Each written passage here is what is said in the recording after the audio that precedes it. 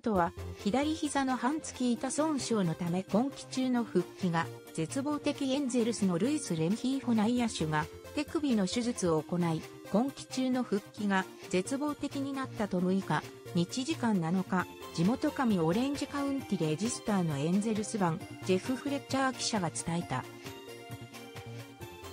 レンヒーホは3日、同4日のアスレチックス戦でファウルを放った際に、右手を痛めたような仕草を見せ、代打が送られた。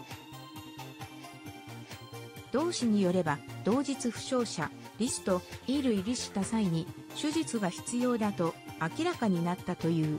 27歳は、今季、一時アリーグ打率トップを走るなど、打率300をマークしていた。さらに、昨季発症のチェイス・シルセスは、投手も今シーズン終了となる肘の手術を行った。詳細は不明だが、トミー・ジョン手術ではない。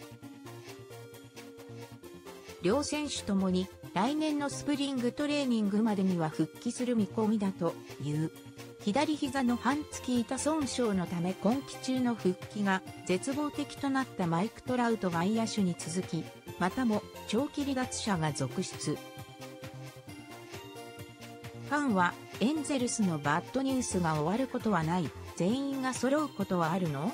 残念なお知らせが2つも、この球団は崩壊している。野戦病院、もうチームの活動を休止してなど嘆きが止まらなかった。フルカウント編集部、